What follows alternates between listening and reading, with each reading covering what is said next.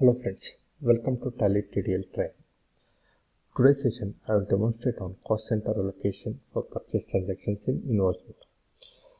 Friends, we are all aware of that one. For purchase transactions in voucher mode we can select the cost center and for invoice mode with the help of cost center class we can set. With the help of this code in invoice mode we can select the cost center. I have created the cost center and enabled the cost center applicable for purchase and discount ledgers.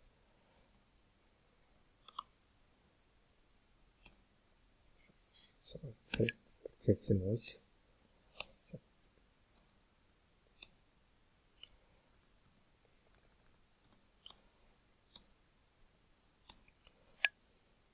After selecting the cost center purchase ledger, cost center allocations of form will be enabled.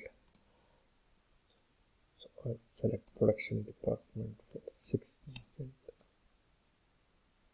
service department 4,000, discount ledger 10%,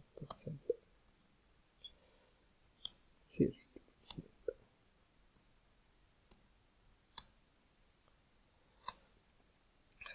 Now we'll run the output. Display statement cost center center category. Friends, in description I have shared the source code link for your reference. I hope you like this video. For more updates, kindly share and subscribe our channel. Thank you.